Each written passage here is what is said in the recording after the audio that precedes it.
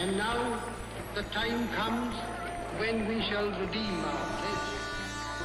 ये है साल 1947 भारत एक लंबे और मुश्किल संघर्ष के बाद अभी अभी ब्रितानी शासन से आज़ाद हुआ है।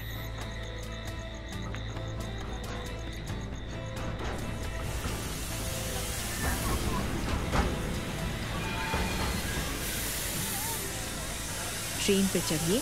ताकि मैं आपको 1947 से 2019 तक की यात्रा पर ले चलूँ। मेरी किताब में महिला अधिकारों से जुड़ी भारतीय इतिहास की घटनाएँ दर्ज हैं। जब आप इन पन्नों से गुजरेंगे, तब आपको कई अहम घटनाएँ दिखाई देंगी इस यात्रा में हम अपनी रफ्तार बढ़ाएँ उससे पहले हम उन सभी औरतों को याद कर लें जिन्होंने हिंदुस्तान की आज़ादी की लड़ाई में बेहद अहम भूमिका निभाई थी। उनके योगदान की चर्चा किए बगैर ये कहानी अधूरी रहेगी। उनके इस योगदान का उचित सम्मान ही था कि आज़ाद भारत में महिलाओं को वोटिंग के अधिकार दिए गए।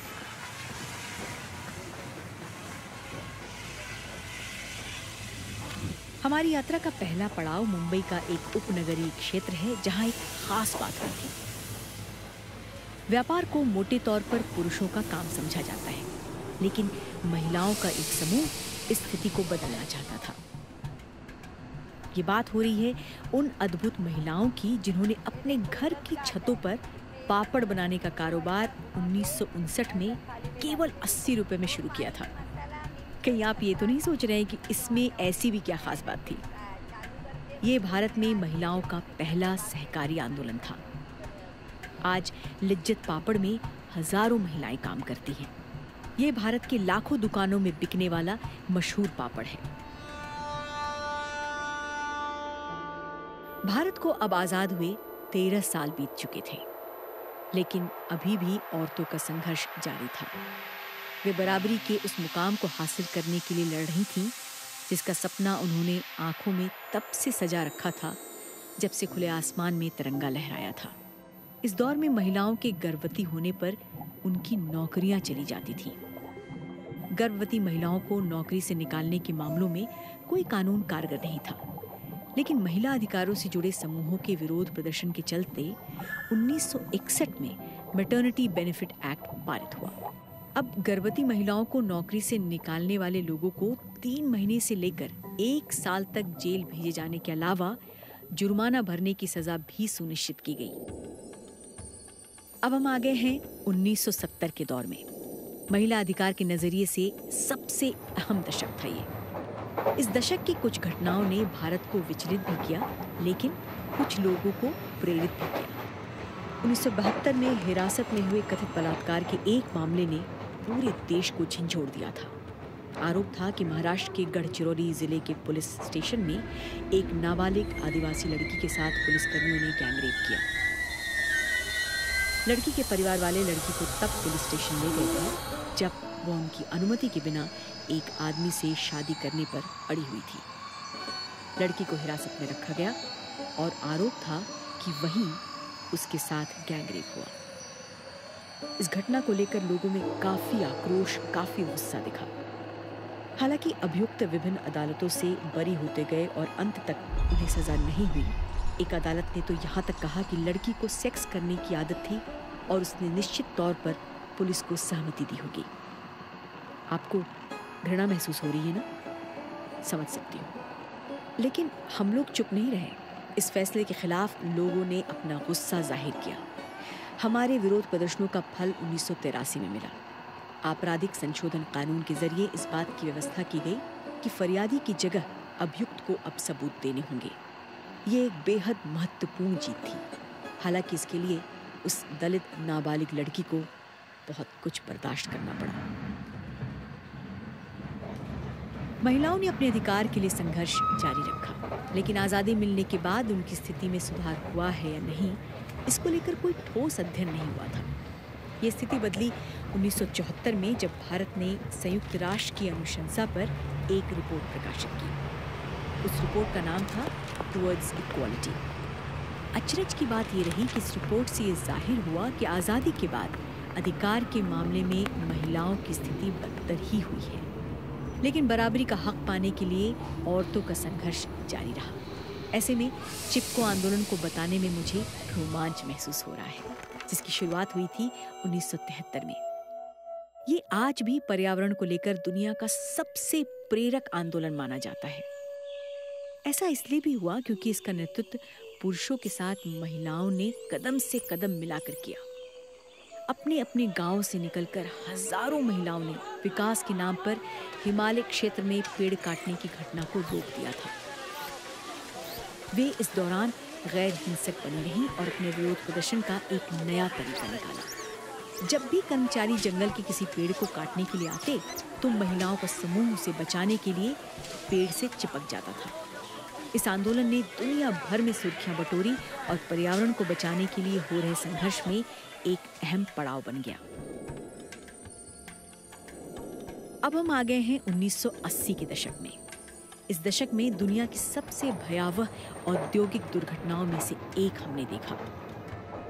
उन्नीस में भोपाल गैस कांड हुआ था, जिसने लोगों के लिए एक बड़ी त्रासदी की कहानी लिख दी। भोपाल के यूनियन कार्बाइड इंडिया के कीटनाशक प्लांट में जहरीली गैस लीक होने से करीब पाँच लाख लोग बीमार हुए थे। इस हादसे में हज़ारों लोगों की मौत हुई थी। हादसे के बाद मुआवजा और न्याय पाने की लड़ाई में पुरुषों के साथ महिलाओं का अहम योगदान रहा। पुरुषों के साथ महिलाओं ने इस लड़ाई में बराबरी की हिस्सेदारी निभाई।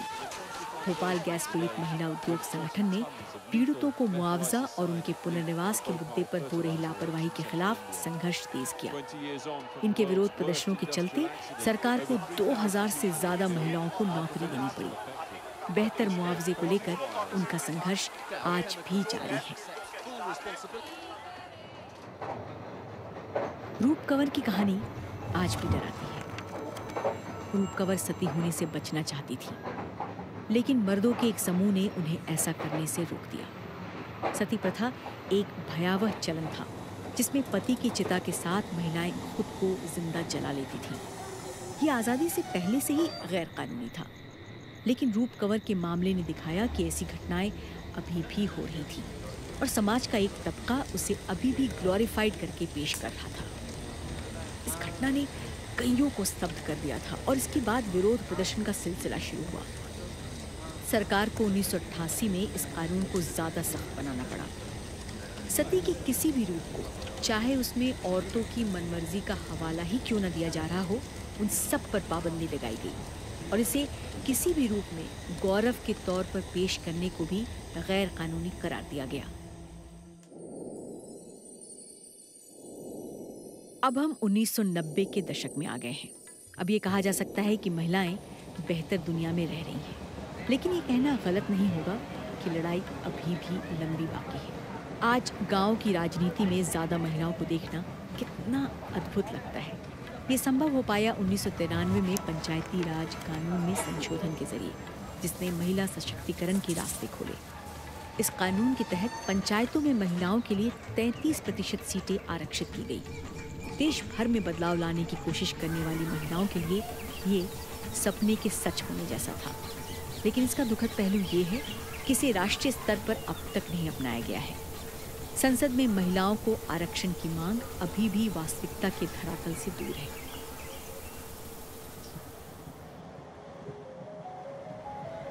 बहुत से लोग ये सोचते होंगे कि केवल पुरुष ही दमकल कर्मी हो सकते हैं, लेकिन हर्षनी कान्हेकर ने ये सोच बदलने का काम किया। 2002 में वे भारत की पहली महिला दमकल कर्मी बनी। इसके अलावा और भी कई सारी प्रेरक कहानियाँ रही हैं। जैसे महज 18 साल की उम्र में सुष्मिता सेन ने पहली बार मिस यूनिवर्स का खिताब जीता।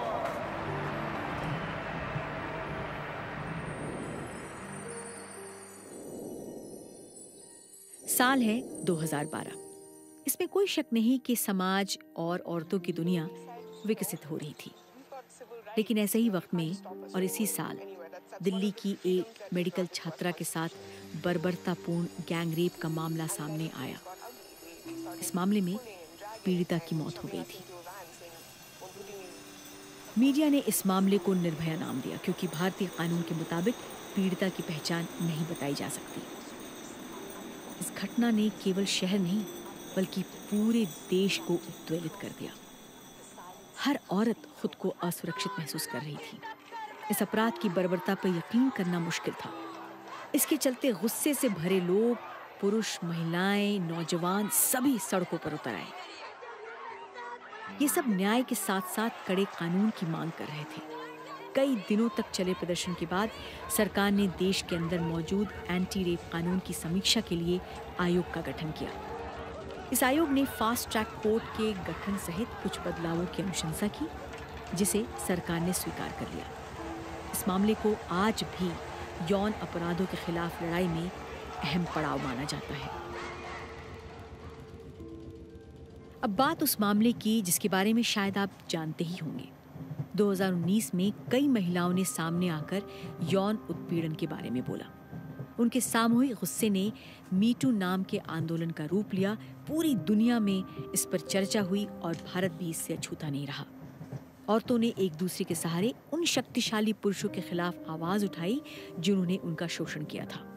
कई महिलाओं की ओर से यौन उत्पीड़न का आरोप लगाए जाने के बाद भारत सरकार के एक मंत्री को अपने पद से इस्तीफा तक देना पड़ा। कह सकते हैं कि डिजिटल दौर में विरोध प्रदर्शन करना थोड़ा आसान हो गया। इस आभासी दुनिया में असली औरतों को एक दूसरे का समर्थन मिला, साहस मिला और यौन उत्पीड़न के खिलाफ बोलने का सामूहिक साहस भी।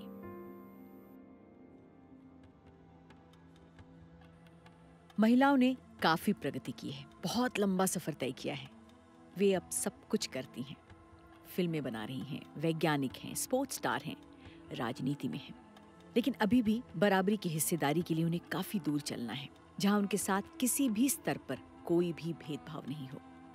लेकिन फ़िलहाल मौका है उन महिलाओं के संघर्ष को सेलिब्रेट करने का, जिनकी बदौलत हम सब आज यहाँ तक पहुँचे हैं।